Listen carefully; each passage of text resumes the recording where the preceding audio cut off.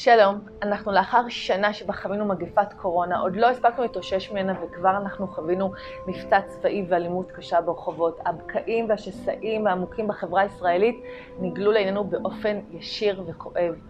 רבים מאיתנו חשים רגשות ומחשבות קשים של ייאוש, דאגה, שחיקה ואפילו כעס ופחד, ואיתם גם מגיעות שאלות נוקבות רבות.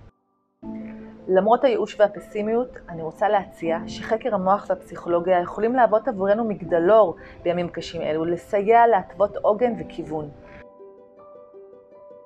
אנחנו יודעים שאפשר לאמן ילדים ומבוגרים להיות מסוגלים לשים לב בזמן אמת ולעבוד עם מחשבות קשות ועם רגשות קשים, ולא להיות בני ערובה שלהם.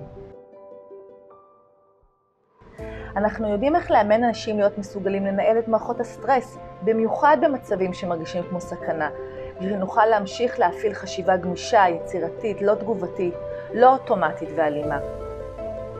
אנחנו יודעים הרבה על איך מנגנוני האמפתיה במוח עובדים ואיך אפשר לפתח אותם. אמפתיה זה לשים את עצמי בנעליים של האחר, גם אם זה אחר שאני מאוד מתנגדת לו ואולי פוחדת ממנו.